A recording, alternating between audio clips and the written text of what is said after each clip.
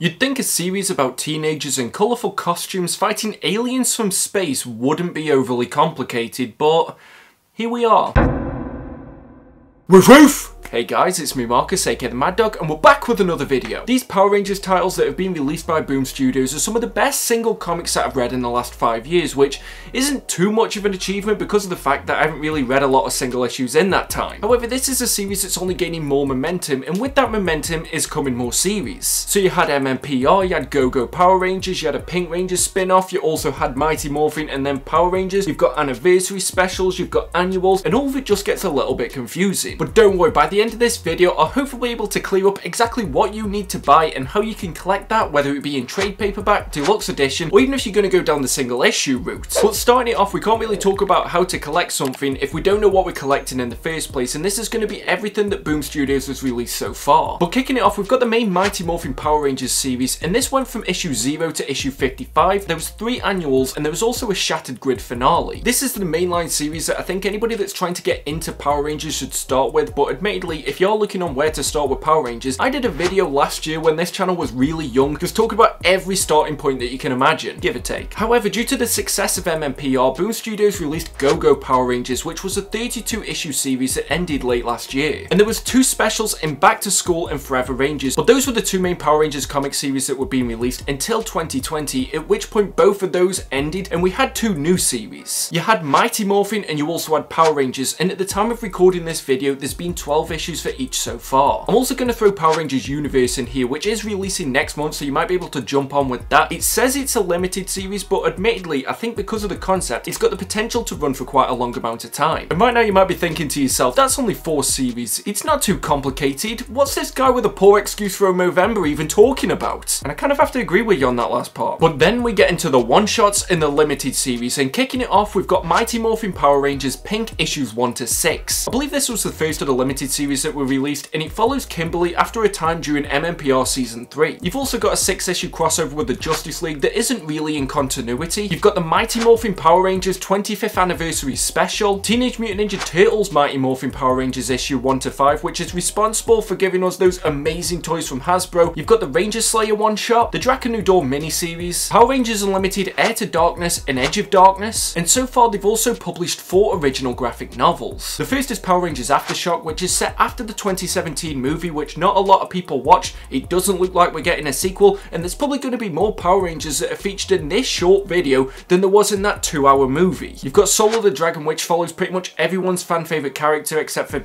well, myself, because mine's Wes from Time Force, and it follows him in his time after being a Power Ranger, and you see what it's like when he's going into the older stage of his life. You've got Power Rangers The Psycho Path, which features the In-Space Rangers, Karone, and also the Psycho Rangers, which, if you're not sure who they are, make sure you watch those episodes. And the latest one that they've released is Power Rangers Sins of the Future. And honestly, this book's about 20 years too late for me because it follows the Power Rangers Time Force team after the time during the Wild Force crossover. So now we're going to be moving on how you can collect all these series, and there's three options, and it really depends on how deep you want to get into it. But we're going to go through these options in order of attractiveness because first up, we've got these beautiful deluxe editions. Yep, these are the ones that most people in the collected edition community are drawn to, and so far we've had five released. The latest one only recently came out, and I know that the channel sponsor, Organic Priced Books, did an overview of it. And if you're tempted to pick this book up or any other, I definitely recommend checking them out because they don't even need the power to protect them because of the fact that they package the books so well. They've also got fast shipping and great customer services, and if you use code WOOFWOOF, you'll get $2 off your order. And kind of similar to the fact that Power Rangers never seems to end, you can use that code as many times as you like. But these deluxe editions only really tend to focus on the main MMPR line because Volume 1, which was also called Year 1, collects issues 0 to 12. Year 2 collects issues 13 to 24 and the annuals for 2016 and 2017. Shattered Grid, which was the third volume that was released, was the first one to really mix it up because it had MMPR issues 25 to 30 and also the Shattered Grid finale, alongside the free comic book day issue number 1, which now that I'm thinking about it, I didn't include that on that list earlier. And it also made me a bit confused on how they're planning on collecting all these series because of the fact that it has Go-Go Power Rangers issues 9 to 12. Now that's because of the fact that this was an event and those issues do directly directly tie into this. But then we've got the fourth volume, which was Beyond the Grid. It's a little bit thinner than all the ones that have been released so far, and it collects issues 31 to 39 and also the anniversary special. And the fifth volume that was recently released was Necessary Evil Part 1, which collects Mighty Morphin Power Rangers issues 40 to 47, and Go-Go Power Rangers issues 21 to 28. Now it's already been announced that there's going to be a volume 6 that's going to release I think May next year, and this contains the remaining issues of both of these series. So you've got Mighty Morphin Power Rangers issues 48 to 55, you've got Go-Go Power Rangers issues 29 to 32, and you've also got the Ranger Slayer one-shot. Now personally speaking and being completely shallow, this is the best looking way to collect this series, and it does also contain all the covers, and I'm not too sure if the trade paperbacks do that, and it also collects the main story arcs of this series, which we're going to touch on a little bit later in this video. So if you don't really want to get invested into the majority of the Power Rangers universe and all the comics that are coming out, then I do recommend picking up these five hardcovers if you can get your hands on them. But that brings me on to the two downsides of collecting the series in this format. And the first point is that these are quite difficult to get your hands on currently. Yes, there's been a few reprintings over the years, and I do think that because of the popularity of this series, they will come back into print again at some point, but that day isn't today. But the second problem with collecting the series in this format, and I've touched on it already, but there is a massive amount of these series that isn't collected in deluxe edition. Yes, the main MMPR line is covered in this, but if you're also collecting Go-Go Power Rangers, you're going to be missing issues 1 to 8, issues 13 to 20, alongside MMPR Pink, the Justice League and TMNT crossovers, and the countless other mini-series and one-shots that I spoke about earlier. Now, I'm not really too concerned about Mighty Morphin and Power Rangers, and that's the reason why I haven't mentioned that they're left out. I think when we get to a volume 7 of these hardcovers, we'll see exactly what they're planning on doing with that series. But in terms of the outlook for Go-Go, well, it's not looking too great. But if it is that you did eventually want to have all of these series in the same format, then it isn't possible to have that for the deluxe editions. And none of us know what the future holds, and who knows, maybe Boom Studios will publish Go-Go Power Rangers in a separate deluxe edition,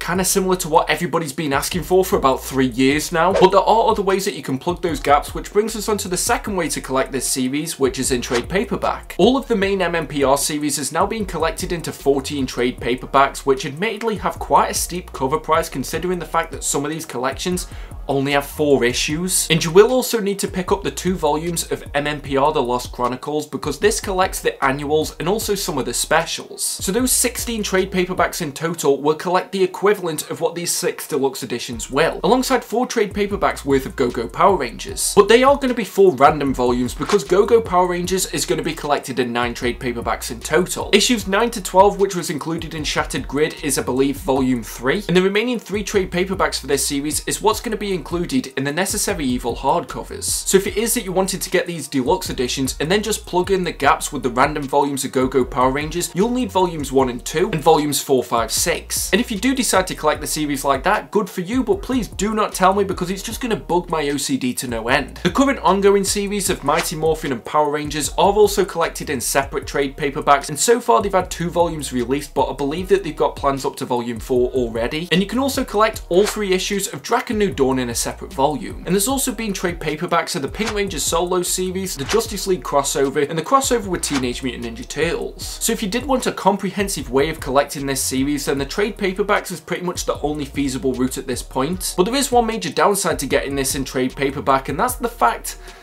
it's just not as nice as the deluxe editions. And that's something that you're to have to weigh up. Would you rather something that looks nice on your shelf or just something that's complete? The third option if you want to collect this series is of course the single issues. Now you heard at the beginning how many different ones that you'd have to collect and especially if you do want all the variant covers like I did when this series first came out, you're to have a difficult time. But you know, if that is the route that you want to go down, good luck to you. I hope you do manage to find every single one. And also, if you do manage to get every issue, it's impossible to get dicked over by any kind of collected edition, except with the original graphic novels, but you know, you can pick them up separately. Now the last thing that we're going to talk about is the reading order for this series, because it's something that I wish I would have done in some of my previous how to collect. But it's all well and good saying that, oh, you can get this in this format and that in this edition, but what if it is that you don't need to buy them anyway? So the first way that you can read this is in the order of release. These issues came out in a particular order, and there was probably a reason why MMPR started before GoGo, -Go, so you might be okay just reading them and then going back to GoGo -Go at the time when that was released. But that is a way that you can read this, and also you'll get all those crossovers and miniseries at pretty much the right time. The second reading order that we're going to look at is chronologically, which I imagine most people will probably want to follow, and the only reason why this is possible is because of Ryan Parrott's tweet that he sent out in September, which I can't lie was super useful in the creation of this video, so I'm going to leave his Twitter link in the description down below. But looking at this chronologically, you would have to start with Go-Go Power Rangers, so issues 1 to 20 and also the two specials is set before Tommy was part of the team, so you can read them before you start reading MMPR. And you're probably wondering if that's the case, then why issues 9 to 12 included in Shattered Grid? I'm not going to spoil too much here, but it is a tie-in, but it's not necessarily set in the same timeline. However, after issue 20 in Go-Go, Tommy does join as the Green Ranger, at which point you can jump into MMPR. You can go straight forward and read issues 0 to 30 and also the Shattered Grid finale, and that will bring you up to a point where you can read the rest of Go-Go Power Rangers, so issues 21 to 32, because at that point in the story, Tommy's the Green Ranger and he's also in the team. And you're probably thinking that I'm saying Tommy, the Green Ranger a lot, but that's because of the fact that this is Power Rangers, and that series really does not survive without him. Which is a shame because some of the best series just